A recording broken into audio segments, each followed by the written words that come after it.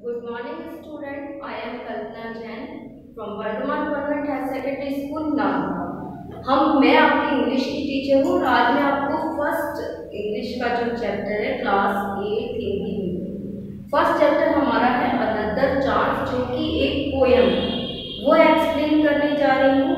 अगर आपके पास बुक है तो आप अपनी बुक ओपन कीजिए और साथ साथ में उसको समझते जाइए। और अगर आपके पास बुक नहीं है तो जो वीडियो में इमेज आ रही है, आप उसको ध्यान से देखिए और समझते जाइए। अनदर चांस मीन्स दूसरा मौका। आप बॉक्स में देखेंगे, दो क्वेश्चंस दिए पोएम से related what should we do to correct our mistake यानी हम अपनी मिस्टेक को सुधारने के लिए क्या करना चाहिए? और सेकंड है what should we do to change our failure into success means हमें अपनी असफलताओं को किस तरह से सफलताओं में बदलना चाहिए। हाँ अब पोएम के स्टैंजा में हम समझेंगे। फ़र्स्ट स्टैंजा में आपको बताया है how often we wish for another chance to make a fresh beginning यानी हमें हमेशा लगता है ना कि अगर हमसे कोई मिस्टेक हो गई है तो हम उस मिस्टेक को सुधारें और उसको सुधारने के लिए हमें दूसरा मौका मिले। To make fresh beginning fresh means वैसे तो होता है ताज़ा, लेकिन यहाँ पर फ्रेश का मीनिंग है नई. बिगिनिंग मीन्स शुरुआत. हमें कोई भी काम, जैसे हमसे गलत हो गया है तो उसको सुधारने के लिए एक नई शुरुआत ज़रूर करनी चाहिए. A chance to blot out our mistake वो मौका जो हमें मिले, जिससे हम अपनी गलतियों को सुधार सकें. And change failure into winning और अपने जो फेलर हैं, सफलता हैं, उनको सफलताओं में बदल सके। मीन्स इस पूरी पोयम के सार में जो फ़र्स्ट स्टेंजा है उसमें ये बताया आपको कि हाँ हमें किस तरह से अपनी असफलताओं को सफलताओं में बदलना चाहिए। यस yes, हमारा नेक्स्ट स्टेंजा है it does not take a new day to make a brand new start means हमें नई चीज़ की शुरुआत करने के लिए किसी नए दिन की ज़रूरत नहीं है। हम वहीं से to make a brand new start एक नए स्टार्ट के लिए।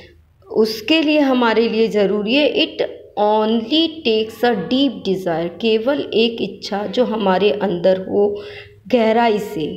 To try with all our hearts हमारी पूरे दिल से एक इच्छा होनी चाहिए कि जो चीज़ हमसे गलत हो गई, हम उनको सही कर सकें और उसके लिए किसी नए दिन की शुरुआत की ज़रूरत नहीं है। हम जिस जगह हैं, वहीं से उसकी शुरुआत कर सकते to live a little better and to be always for giving इसके लिए ज़रूरी है हम अपनी जो भी चीज़ें लिटिल बेटर बेटर जो भी थोड़ा सा अच्छा सोचें, थोड़ा सा हम ये सोचें कि to be and to be always for giving हम हमेशा and to add a little sunshine और जीवन में एक जो छोटी सी लिटिल सनशाइन में छोटी सी सूरज की किरण रखें जैसे कि जो हमारी आशा है to the world in which we are living उस दुनिया में, जिस दुनिया में हम रह रहे हैं, उस दुनिया में हम अपने आप को इस तरीके से आगे बढ़ाएँ कि हम लोगों को माफ़ करते हुए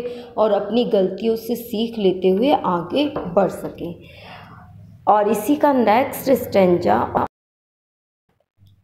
so never give up in despair think you are through for there always tomorrow and the hope of starting a new यानी so never give up disappear यानी, हमें कभी भी निराश नहीं होना चाहिए और एंड थिंक और विचार करना चाहिए कि हम आगे की ओर बढ़ सकते हैं for they they are always a tomorrow सब हमेशा एक कल होता है, जो हमारे लिए नया कुछ ना कुछ लेकर आता है। And the hope of starting a new जिस, और जो यही आशा है, वो एक नई शुरुआत करने के लिए हमें प्रेरित करती है।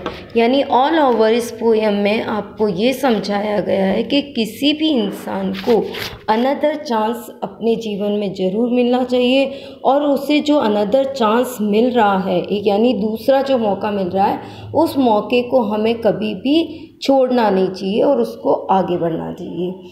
और इसी के साथ इस पोएम के जो राइटर हैं, उसका नाम मैं आपको बता रही हूँ, जो कि नीचे पोएम में आपको दिख भी रहा है।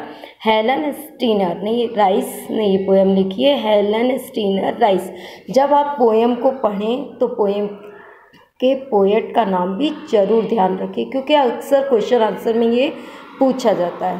तो स्टूडेंट्स आज अपना ये चैप्टर जो फ़र्स्ट पोएम था अनदर चांस जिसे हेलन स्टीनर राइस ने लिखा है। ये आपको आप पढ़ना है और इसको समझना है। कल हम इसके क्वेश्चन आंसर पढ़ेंगे और समझेंगे।